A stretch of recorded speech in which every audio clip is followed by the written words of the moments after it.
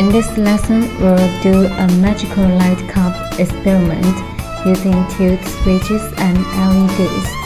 First, let's do the wire connection according to the connection diagram. Plug two LEDs to the breadboard.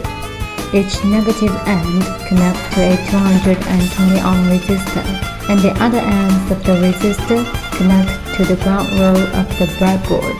Connect the two ground rows and lead out the ground from UNO.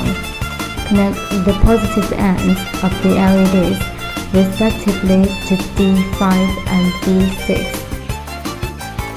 Next, connect the tilt switches. First, plug the tilt switches. Lead out 5 volt of the mainboard.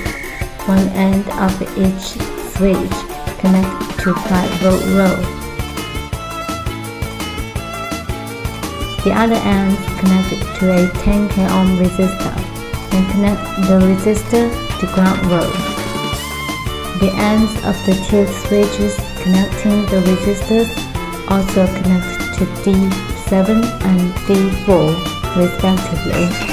After wire connection is done, let's upload the test program to the board. First, connect your UNO to computer with a USB cable. Now open Arduino IDE select the board and COM port. Firstly, take a look at the sample code. You can see no libraries needed. Then directly copy the program from the supporting file. The pin definition in the program is according to the circuit connection.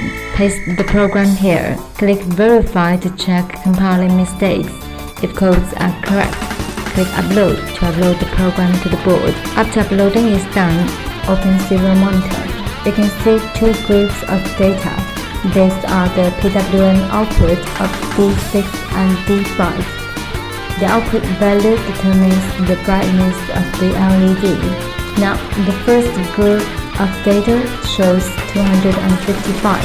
The second group shows 0. That means the red LED is at its brightest and the yellow one is off. Tilt the breadboard, that is, to tilt the switches.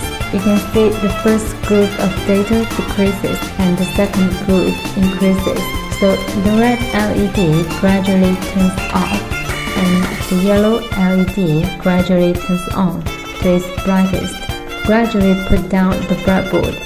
You can see the first group data increases and the second group decreases.